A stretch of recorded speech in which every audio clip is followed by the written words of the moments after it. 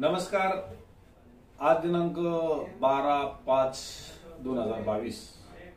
वार गुरुवार.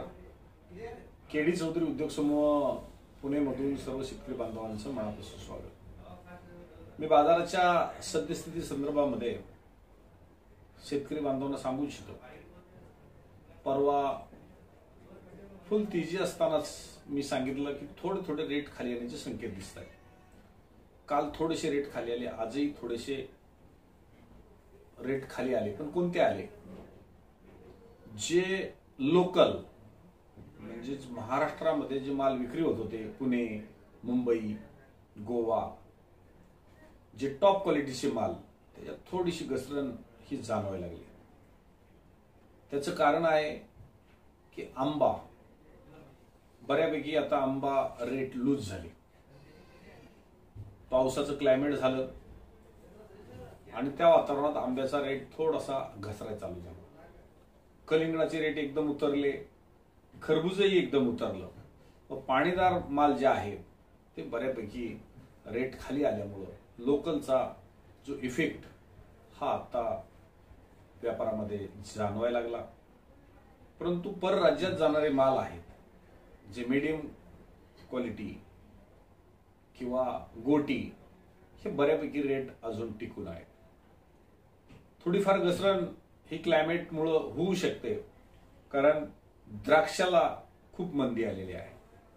बऱ्यापैकी एकवीस बावीस तेवीसला पाऊस फुल येईल. महाराष्ट्रामध्ये आंध्रामध्ये केरळमध्ये हे अंदाज वर्तवल्यामुळं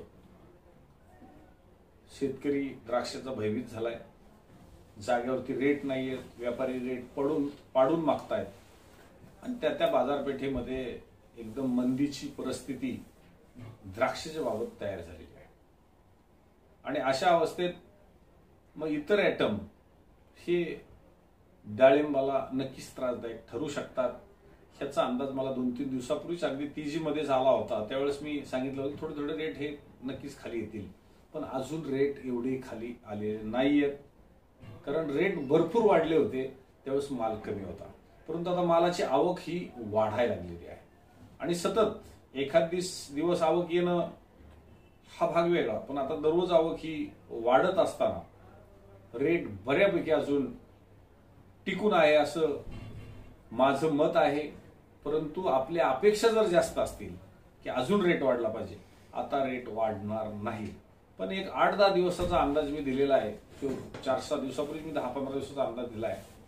की वीस पंचवीस तारखेपर्यंत रेट हे बऱ्यापैकी राहायला पाहिजेत त्यानंतर वीस बावीस तारखेच्या पुढं लिची ही उत्तर भारतात चालू होईल. लिची झाल्याच्यानंतर लंगडा दशेरी आंबा ही जून महिन्यामध्ये चालू होईल. आणि त्यावेळेस थोडेसे रेट हे जादा प्रमाणात खाली येतात. परंतु आवक किती आहे आणि पुढं आंबा किती इफेक्ट करतो त्याच्यावरती जून महिना हा अवलंबून असतो. परंतु आता सध्या तरी महाराष्ट्रामध्ये आवक ही मर्यादित राहील असा अंदाज दिसत असला तरी रेट हे थोडेफार हे खाली नक्कीच येतील. लिची आणि आंबा हा आपल्याला इफेक्ट हा करेल. परंतु क्लायमेटचाही इफेक्ट जे आपल्याला सांगितलं द्राक्ष कलिंगड खरबूज पाणीदार मालाचा ज्यावेळेस मंदीचं सावट हे इतर आयटमवर पडते आणि बऱ्यापैकी डाळिंब जे येते ते डाळिंब काही सुकलेल्या अवस्थेमध्ये सुद्धा बऱ्याच प्रमाणात मार्केटमध्ये येते. त्याहीमुळं थोडासा मार्केटवर इफेक्ट होतो. आणि नाईलाज आहे शेतकऱ्यांचा की पाण्याचा प्रॉब्लेम निर्माण झाला लाईटीचा पुढं लोड शेडिंग किंवा डीपी जळणं हेही प्रॉब्लेम होत असल्यामुळं त्या मालांची थोडीशी आवक मार्केटमध्ये होत आहे. पण त्याबरोबर चांगले माल येत असताना मी सर्वांनाच सांगतो की बिस्किट कलरमध्ये माल आपण तोडते ठेवा. लिंबू कलर असेल थोडासा चालेल. परंतु जास्त हिरवट माल तोडू नका.